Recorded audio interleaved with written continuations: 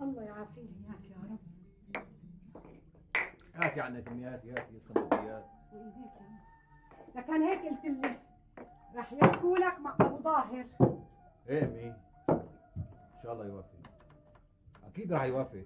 أنا بحبه كثير عمي أبو ظاهر وهو بحبني كثير والله كأنه أبي وأعز.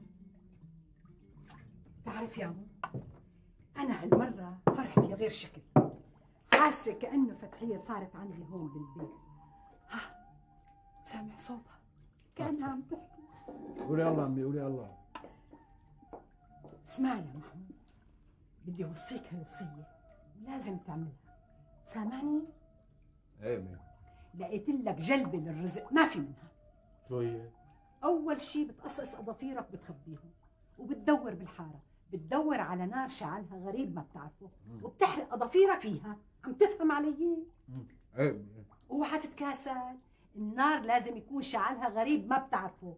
لا عينك نظرته ولا عقلك بيتذكره. وقد ما فيك دوه إيه امي بدور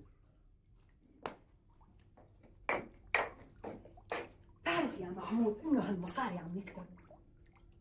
عن إيه لك؟ قربت شلون هي؟ بس أنا كمان عم عدو لسه مطولين. لك انت شو بيعرف ليش قديش فكرك صار معنا؟ عدة صار معنا يعني؟ أنت ما بتعرف قد ما حسبت ما بتعرف. روح صوب وعدهم وشوف قديش البركة عم تنطلع فيهم. شلون هي؟ هدول لأنه من تعبك لحالك يا أنت ما عم تتعب بالمصاري. إيه والله يا أمي عم بتعب كثير. شفت شلون؟ لأنهم كمان مصاري حلال. حضر حالك قربت تنفق يا رب. الله يخلي لي إياك يا رب.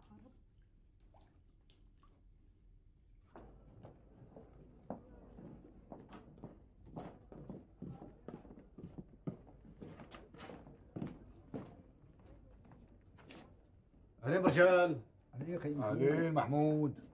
شو بك اليوم فايض طالع؟ شو القصة؟ ما في لاصه ولا شيء بس في شغلة هيك يا أخي نعمة تنحل ولا عم تزبط معي. اللي أنا بحلها. ما بتقدر سيفو ما بتقدر. شغلة بدها دوارة. طيب اللي شو هي؟ عم بعمل وصفة. بدي نار يكون شعلها واحد غريب وما بعرفه. أيوه. أنا بحلها. شلون؟ بشعل لك نار وبهرو ما بتزبط. طيب شو رأيك؟ لاقي واحد غريب شاعل نار وبجيبه لهون.